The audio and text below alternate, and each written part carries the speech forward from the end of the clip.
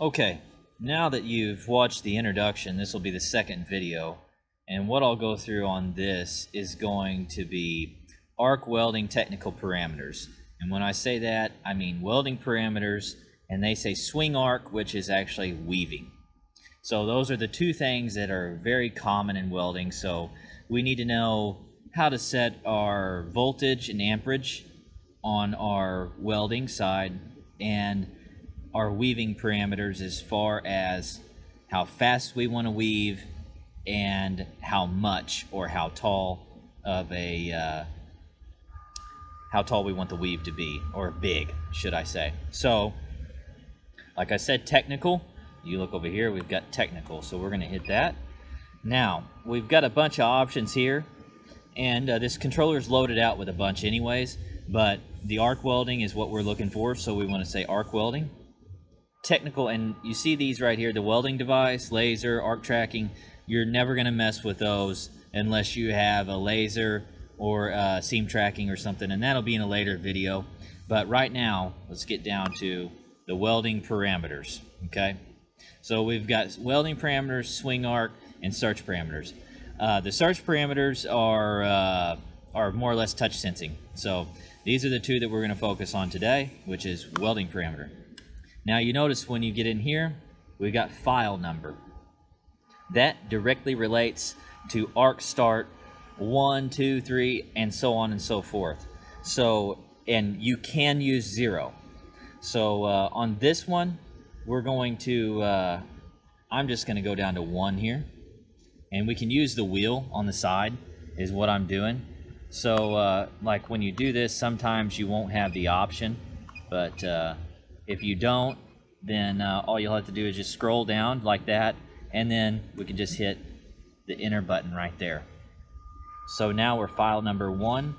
You can see this is what we have this one set up at. So we've got the weld current, weld voltage. As you're welding, that's what you're going to be, 200 amps, 18 and a half volts. These machines like to run lower on the voltage. This is our, our starting.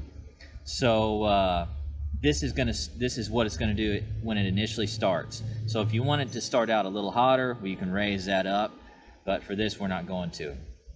Um, arc ending, we can actually just have that at 200. Um, 24 volts, that way we clear the puddle a little bit. Um, and then the same thing on the remove stick. So that's more or less the same thing as your arc ending. And uh, you can see we've got timers for both. So our arc ending is going to last 0.05 a second. The stick is the same way. Um, we move on over to this side, wire feedback in milliseconds.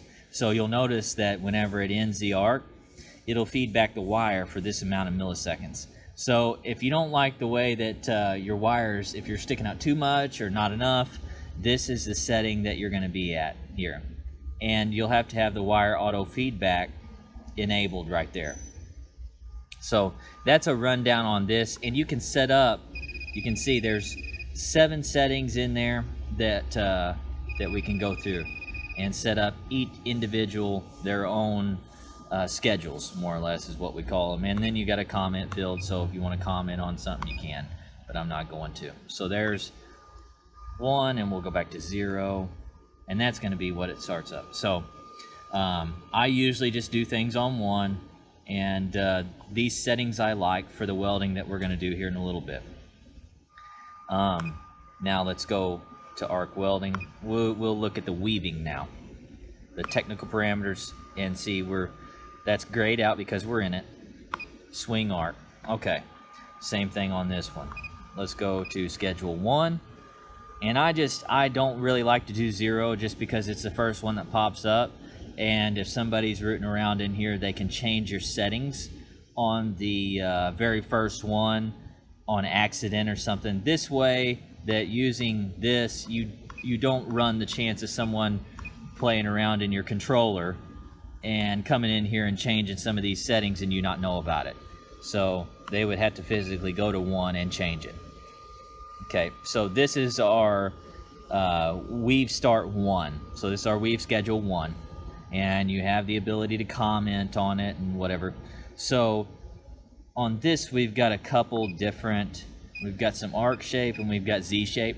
Usually what we like to do is Z, um, and that's going to get the best results.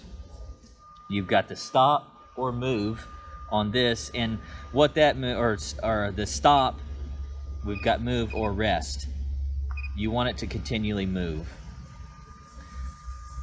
The frequency is in hertz. So these are really the two boxes that you really need to worry about. It's going to be the frequency and the amplitude. So the frequency is how fast it weaves. So the lower that number, the slower it is. The higher, the faster it weaves. The amplitude, the same way. That's how much we're weaving back and forth. So two and a half millimeters is what we're going to do. So if you think that your weave is a little bit too big, um, then you can you can lower this down. But keep in mind, when you lower that down, you're reducing the time it takes. So it may look like it's weaving faster. It's not. It's just that you've lowered the amplitude. So those two work hand in hand together. We have right and left dwell times on that. So uh, you can set those for amount of seconds that you want. And uh, so um, technically that goes in the orientation of the tool. So uh, you can play around with that. So if you got a heavy part on the bottom, light on the top, and you want to dwell on the heavy part, you can do that. Um, and we're, we're just going to leave it at both at zero. That way we get a nice smooth weave. Okay. So now we're going to exit out of this screen. We're back to our programming screen. And uh, on the next video, on video three, we'll show you, we'll get in into the programming um, and uh, maybe show you some uh, circular movements and linear movements on what you're going to see.